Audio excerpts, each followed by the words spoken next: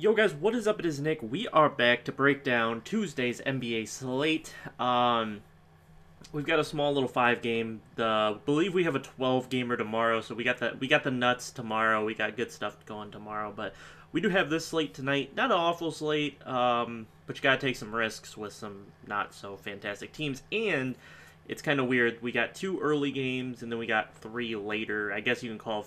I, I most call the eight o'clock games the mid-range games, so nine and on is late. So we've got three later games, but let's hop into this with the Portland Trail- Trailblazers. Damian Lillard is going to play tonight, but we don't have a minutes. Um, we don't have a minutes limit on him. Nothing has been said about minutes or anything like that, so I don't think I can touch him. Um, if he's gonna play reduced minutes, I think I could play Shabazz Napier because Napier was seeing 21 when Lillard was out, or when Lillard was in. So if Lillard sits and plays, you know, instead of 36 or 38 or 34, like he was playing, if he plays 28, I think um, Napier gets up to 30 minutes. So he's still viable. Uh, a little overpriced, but an, a, a decent GPP option. Other than that, um, I had Evan Turner in my lineups last night, and then took him out, and he decided to put up 38, which is which was just a nightmare. And I played David Nwaba instead of him, and then Nwaba put up like 10. So that was that was a nightmare. I'm not chasing that. The only other guy that I have interest in is Al-Farouq Aminu. He should have to play minutes here against the Cavs. The Cavs should inevitably make this go small. Um, Isaiah Thomas returns, so I definitely think they make it go small. So I like Aminu to see 30 minutes at least. And uh, he'll probably be in my lineups. Moving on to Cleveland, LeBron, the one stud on the night. Um, 11-7. I'm not playing him tonight. He needs about 66 or 67 to really kill me if the other guys meet value on DraftKings. Uh, uh, he's pretty easy to fit on FanDuel, but he's still really not a must play over there as well. But he's really easy to fit over there, so um, I'll probably end up playing him there. But on DraftKings, where I do most of my uh, most of my stuff is on DraftKings, I probably won't play him. Uh, looking at the guards, Isaiah Thomas kind of screws everything up. He'll play about 15 minutes, which is not enough to actually play him. If he was playing 15 minutes tomorrow against Boston, I would actually consider playing him, but with him playing tonight against the Trailblazers, which the reason is, if you didn't know, is they, I believe the medical doctor, or the doctors and medical staff for the Cavs believed that Isaiah Thomas would overextend himself tomorrow if he played against Boston, so they're going to sit him. Other than that, I have really no interest. Kevin Love should be good to go. He's questionable, but I'm I'm pretty sure he'll go. Um, it's an illness. Uh, maybe they sit him, which would which would pretty much make Tristan Thompson and Channing Frye locks if he sits. I mean, Frye will see 24, 25 minutes, and Tristan Thompson will probably see 26, 27 minutes. Um, and at their price tags, I can I can eat a crappy game from them. So moving on to San Antonio, not a whole lot of interest here. No interest in the guards. Uh, Rudy Gay is out. Uh, Kawhi Leonard is questionable. Um, he's not going to play the back to back, and they play again tomorrow. So it's really just a question of does he play tonight or does he play tomorrow. If he sits tonight, I have medium interest in Kyle Anderson. If he gives it a go, I really can't play him. Um, I know he's got that 40 point upside, but if he's only going to play 30 minutes, um, he hasn't been all that active on the rebounds and the assists. Um, so I'll probably just go ahead and keep fading him. I don't think he, I don't think it's worth the risk to force him in. Um, on FanDuel, Powell is interesting. On DraftKings, a little bit less. So that's about it for San Antonio. Moving on to the Knicks, starting off with guards. Tim Hardaway Jr. remains out. I like Jarrett Jack and Frank Ntilikina as well as Courtney Lee tonight, but they draw tough matchups against the Spurs, so I probably won't go there. But I do like the three guards there. Uh, moving on to the forwards, I don't think I'm gonna mess with Porzingis or Kanter. Um, I have a little interest in Michael Beasley and GPPs. Uh, because if Kanter gets run off the floor, if the Spurs decide to go small and take Powell off um, to reduce his minutes so that he can play tomorrow night, Um, Beasley would be the expected run, so I do like that. But those first two games, not really my favorites. So we'll get on to the juicy stuff, and that is the Atlanta Hawks. Looking to put a lot of Atlanta Hawks in my lineup. Dennis Schroeder will be in my lineup. Uh, 7,300 against the Suns. Um, should be locked and loaded for about 35 points minimum uh, with the 50 point upside. So I'll be all in on Dennis Schroeder tonight. Uh, I also like Taurean Prince over Bazemore. I like Bazemore on FanDuel. He's cheaper on FanDuel, which is nice. So I do like Bazemore there. I do not like him on DraftKings. I'll be going to Taurean Prince. Really like Prince's safety that he's been providing with ginormous upside. Uh, and so I will be going to Taurean Prince against Phoenix. Uh, we'll draw TJ Warren defense, which isn't the greatest, but I still think I'll go there. So moving on to forward, you got a choice here. You can go Ersan Ilyasova or John Collins. I'll be going John Collins. Um, I feel like he's just a little bit more safer. He doesn't provide a whole lot of upside, um, but I do think he provides a little bit safer a floor than Ersan. But Ersan has um, a little bit higher of the upside of the two of them, but he also has a little bit lower of a floor. So it's kind of just how you want to go.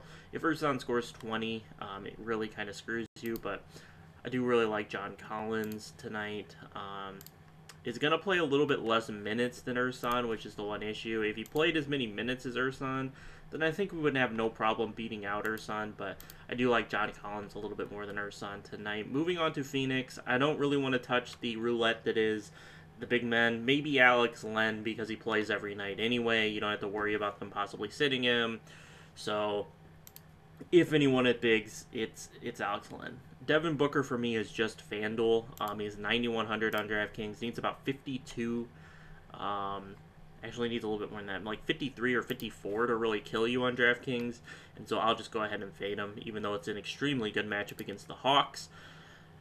Uh, TJ Warren a little bit more FanDuel viable than he is DraftKings. Um, but he, he does have some intrigue over here on DraftKings. Probably more GPP than he is cash. He does provide a nice 40 point upside, but does draw Taurean Prince defense. If he does somehow sw- swing to the power forward and draws like Ersan defense, uh, I really do like him. So I'll have to keep an eye on it and see who and um, try to figure out exactly. I don't know if they played yet this year. I'll go back and look at some tape. But if Ersan was on him, um, I, I, have a lot of interest in TJ. If it's gonna be, if it's gonna be Ersan, or if it's gonna be. Uh, Prince or Bazemore, then I probably am not going to go to him.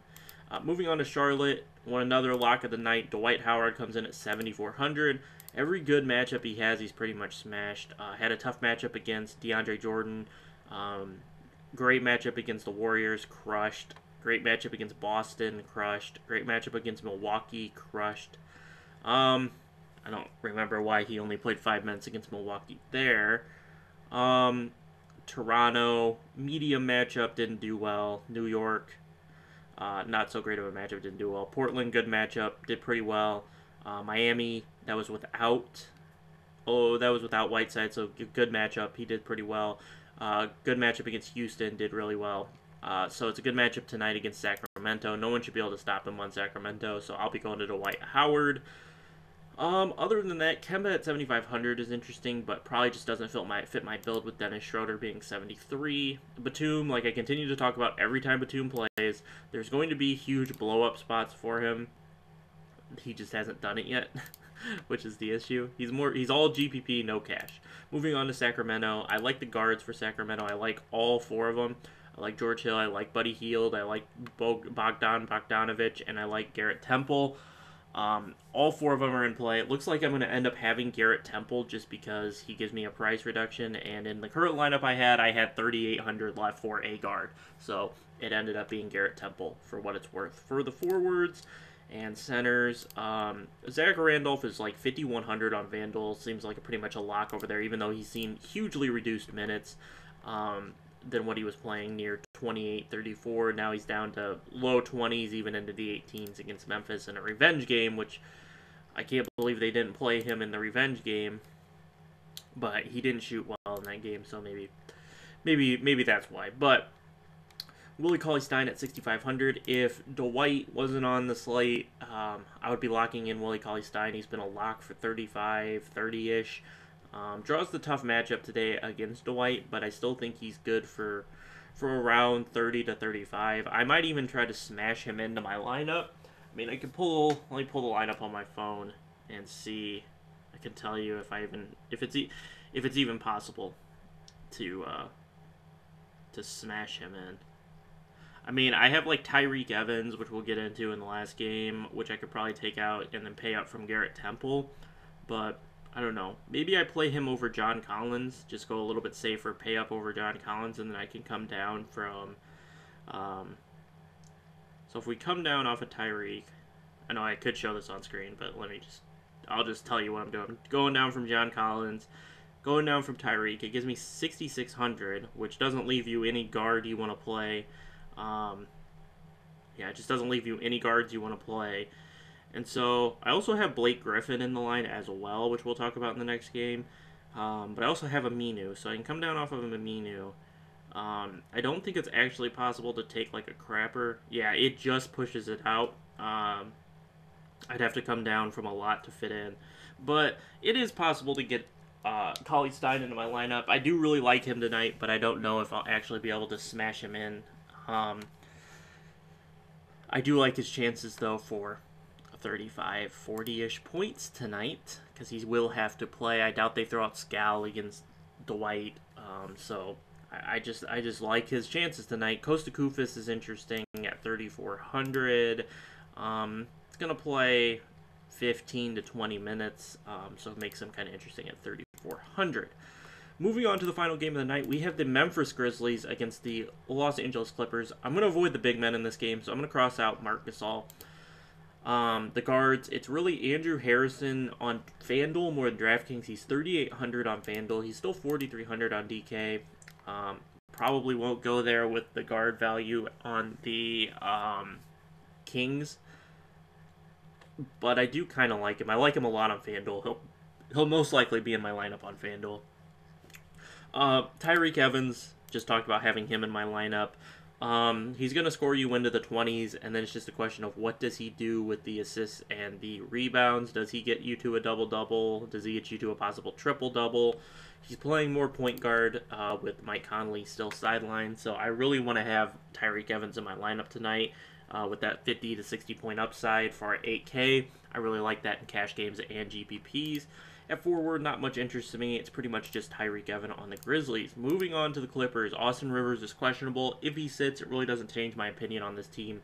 Milos Teodosic is pretty much too overpriced for me. Um, his 30 points is like his upside, um, and I just I, I just can't pay 5700 for Mil- Milos Teodosic, whether or not Rivers plays or not.